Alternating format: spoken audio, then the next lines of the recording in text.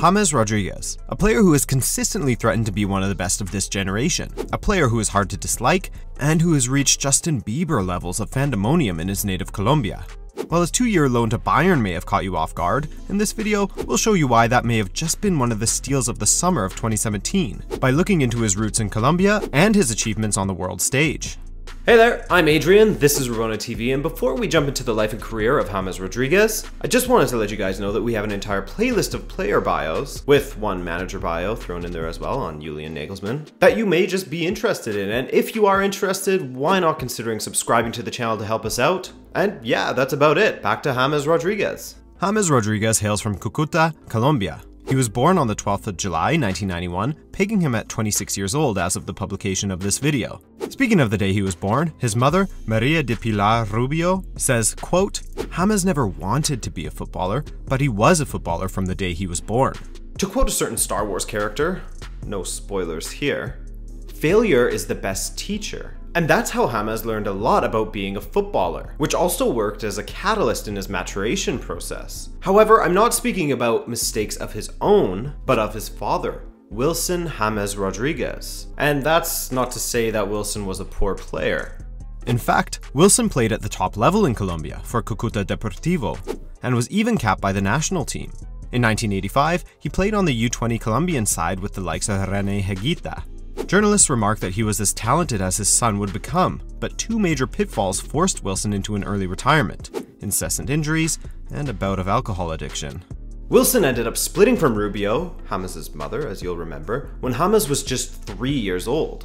This was the first in a series of hardships, including the murder of his uncle, Arle Rodriguez. Arle, who was 19 years old at the time, was murdered by a Colombian street gang just one week after the infamous murder of Colombian defender Andres Escobar. So despite this rough climate in Colombia at the time, thankfully, James was far away from it all in Ibagué, where he was playing for Academia Tolimense. Here, while playing with an older group of kids, he was still dominant thanks to his superior ball control and foot skills. And his now famous left foot wasn't too shabby either according to former teammate Diego Nerona when speaking to 442 magazine. Quote, there was a free kick, and I usually took them, but he grabbed the ball with such conviction that I let him have it. Without saying a word, he curled it outside the wall and scored a stunning goal. Part of the reason why he didn't say anything was probably down to the fact that he was incredibly shy as a youngster. In fact, his coaching staff at Tolimense even went as far as to making James work with psychologists to try and break him out of his shell. But that didn't impede his play on the field, and at 11 years old, James won the Pony Football Cup with Tolimense. In that tournament, he scored 13 goals from 9 matches, two of which were directly from corner kicks in the final. By the way, this final had 5,000 people watching it, one of whom was Gustavo Upegui Lopez, a majority shareholder of Envigado Football Club. Upegui Lopez had an interesting history, getting jailed for 32 months on charges of running a band of contract killers that were associated with the Medellin cartel. He was eventually released, his name was cleared, and he got to see James Rodriguez become the youngest ever Colombian to start a match on the 21st of May 2006 against, funnily enough for James, Cucuta, while James was only 14 years old. Upegui was unfortunately assassinated shortly after that. Yikes. But let's get back to James. After two seasons with Envigado, he began making a name for himself across Colombia. With Upegui Lopez dead, James's mother began looking over her son's interests, including overseeing his transfer to Argentina. Boca Juniors were rumored to be in for the young Colombian, just as they had recently purchased his teammate Freddy Guarin and future teammate also. But ultimately, James ended up with Banfield, signing in 2008 for 250,000 pounds. He didn't play any first team football until 2009, however, making his debut on February 7th, 2009, and scoring a signature long range goal in what was a 3 1 win over Rosario Central. That goal made him the youngest foreigner to ever score a goal in the Argentine Apertura at just 17 years of age. In the 2009 season, he played in every single match for Banfield, in what was an historic year. On September 26th, James scored yet another goal from outside the box, helping Banfield beat Newell's Old Boys 2 1. And to secure the Argentine championship for the first time in Banfield's history. Across 38 matches, James managed to score 8 goals. In the following season, Udinese placed a bid of 5 million euros for the 18-year-old wonder, but that was deemed insufficient from Banfield. It was also around this time that James met, fell in love with, and married Daniela Ospina. And yes, that is David Ospina's sister, James's Colombian national team comrade. Later on in July of 2010, James was sitting on the team bus with his teammates as they were about to embark upon a journey to go play in Mar del Plata. Right before leaving, manager Julio Falcioni stepped off the bus. A Banfield official stepped on and announced that James Rodriguez had been sold to FC Porto. With his teammates congratulating him, he immediately left the bus, took a taxi to the airport, flew to Portugal, and signed a contract with FC Porto, finalizing a 5.1 million euro deal to bring his talent to Europe. And while he was at FC Porto, the achievements would come rolling in thick and fast. He made his non-competitive debut on July 18, 2010 in a friendly against Ajax, marking the occasion with a goal as well. He wouldn't score his first competitive goal for Porto until December 15, 2010 against CSKA Sofia in the Europa League. Later on, in the 2011 Taça de Portugal final, James would truly show the rest of Europe that Porto had a legitimate talent on their hands, when he scored a hat-trick and provided one assist in a 6-2 victory over Vitória de Guimarães. Oh, and Porto also won the Portuguese League and Europa League in that same 2010-2011 season,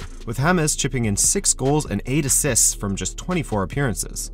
In the following year, the 2011 2012 season, at just 20 years old, he scored 14 goals and delivered 11 assists, sealing the Portuguese Golden Ball Award, which is awarded to the player who is the most outstanding on the season, and helping Porto win the Portuguese League once again. The following season, which would ultimately be his final one with FC Porto, James found himself starting much more frequently due to the sales of Hulk and Falcao, as the young Colombian struck up a great offensive partnership with his Colombian compatriot, Jackson Martinez. He finished that season with 13 goals, 15 assists across 32 appearances in all competitions. Just one week after Porto winning yet another another league title, it was announced that James was sold to AS Monaco, the relatively newly minted AS Monaco, having been bought out two years prior, with the final sale being 45 million euros, which was the second most expensive sale from a Portuguese club ever, aka the second highest fee ever received by a Portuguese club. He made his Monaco debut against Bordeaux, then picked up his first assist in what would be a season of many against Bastia in a 3-0 victory on match day 7 of the 2013-14 Ligue 1 season. He wouldn't score his first goal until November 20th, 2013, when he scored a driven free kick against Rennes in a 2-0 victory. He ended the season trophyless, though James would end the season with 10 goals as the Ligue 1's top assist leader and earned a place in the Ligue 1 best 11. The end of the season also brought the start of the 2014 World Cup in Brazil, where James took the tournament by storm. In their first group stage match, James set up the first two goals against Greece before adding a third himself. In the second match, he scored once again, and again helped set up a goal in a 2-1 victory over Cote d'Ivoire. And in the final group stage match against Japan, coming on as a substitute, James assisted twice to his former teammate Jackson Martinez, before again adding a goal for himself in what was a 4-1 victory. In a tricky fixture against Uruguay in the round of 16, James scored twice in a 2-0 victory, taking Colombia to their first ever quarterfinals.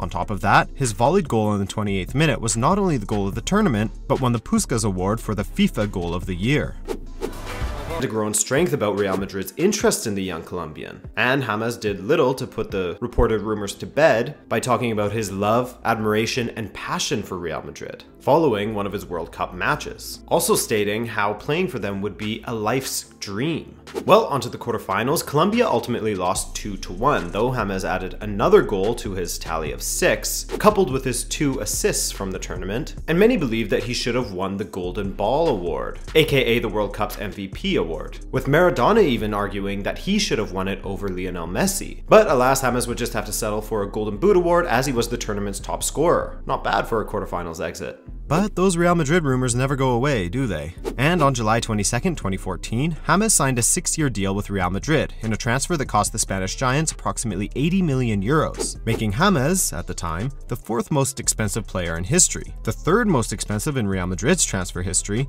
and the most expensive Colombian in history. James found much joy at Real Madrid under Carlo Ancelotti, and he didn't waste much time in scoring his first goal for Los Blancos in the Spanish Super Cup against Atletico Madrid as he came on as a second half substitute. He also scored in his Champions League debut for Real Madrid against FC Basel on September 16, 2014, then scored his first ever La Liga goal just six days later on the 20th of September 2014 in an 8-2 rout of Deportivo La Coruña. He finished his first season in Madrid with 17 goals from 46 appearances across all competitions. In a 2015-16 season that started tumultuously for Madrid under Rafael Benitez, James would mark his first appearance of the season with a man-of-the-match performance against Real Betis, scoring a free kick, a bicycle kick, and assisting one of Gareth Bale's two goals. He was more of a bit part player during the 2015-16 season, never seeming to find favour under Zinedine Zidane, though finishing with 8 goals from 32 appearances and with a Champions League medal. The following season would be even slimmer pickings for James, as he was relegated to what would be known as Real Madrid's B team in Zinedine Zidane's efforts to rotate the squad in order to challenge on all fronts. It worked for the team as they won their first La Liga title since the 2011-2012 season and became the first team ever to defend their Champions League title. But James's frustrations grew as he was only given 22 appearances in the league, 3 in the Copa del Rey, from which he scored 3 times, and 6 in the Champions League. With that, it came as no surprise that James sought to leave Real Madrid in search of more playing time, something that Zidane couldn't promise him. So, on July 11th, 2017, Bayern Munich announced the two-year loan signing of the young Colombian, with an option to buy him at the end of the term, which is believed to be around 40 million euros. As of the German winter break in the 2017-2018 season, James has contributed two goals and four assists across all competitions with his first goal for Bayern coming in a 3-0 win over Schalke on September 19th, 2017. Where James goes, Colombia goes. So it's safe to say that Bayern Munich has a ton of fans in South America now. At just 26 years old, it's fairly evident that James has more to give to whichever team he ends up at once his loan deal with Bayern ends. Whether it's with the German Giants, the Spanish ones, or some other team entirely, James has been a gift to the world of football, and just needs the right setting to continue to be. I hope that you enjoyed this deep dive into the life and career of James Rodriguez, and if you did, be sure to drop a like, subscribe to help out the channel, and check out our other player and manager bios in the playlist listed below. My name is Adrian, this is Rabona TV, and I hope to see you in another video. Peace!